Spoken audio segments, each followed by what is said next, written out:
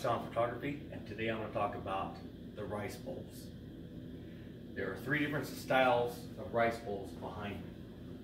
They're all pretty much equivalent, the same size. This one here is generation one. Generation one is a rodded system. You have to physically put the rods into the speed ring.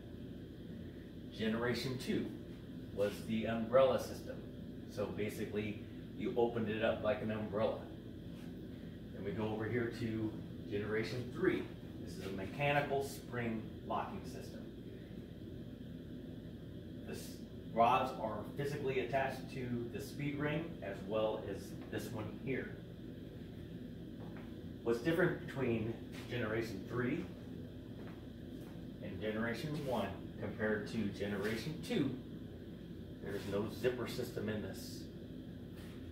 The reason for the zipper is to actually shoot through or add another light stand and have two lights, one facing one way, one facing the other way.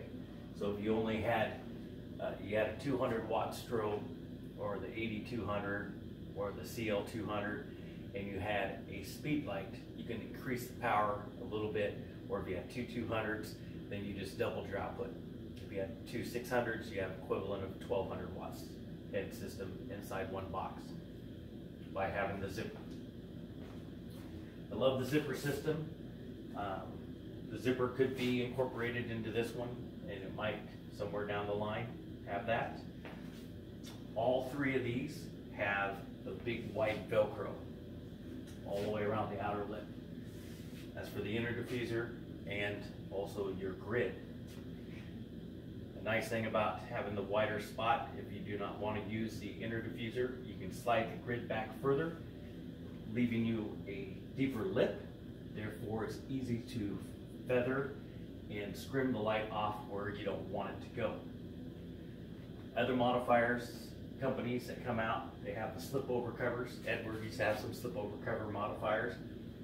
But what happens is that brings the light surface all the way to the edge, which therefore it's harder to feather the light and keep light from spilling onto spots where you do not want it. So Magmod, uh, Elinchrom have the, the slip-ons, and again, I don't like the slip-ons due to the fact that it's harder to feather. And again, keep light from spilling onto spots where you do not want. That's one great thing about these boxes here. Again, these are deep parabolic styled octa. Therefore, they are made to throw light a further distance than a standard octa. Again, no matter which one you pick, the light quality is pretty much going to be identical through all three of these. The only time it's going to change is generation two, and when you're shooting low powered through a or through a LED light, not through a strobe, through an LED light. And sometimes you might get some shadowing off the center system, but that's the only time I've ever seen it. Um, but if you're using a strobe, the strobe fires so fast it actually blows past this umbrella system, just like it would be if it was an opened area like either generation one or generation two if you have the dim sum dish that attaches to the generation one, it will fit on generation three due to the fact that generation three has two screw holes that you can mount into. So there's one opposite from the other. This will actually screw in. So I actually have the dim sum dish actually physically mounted into generation three. And this is the one that actually comes with generation one and is actually on there.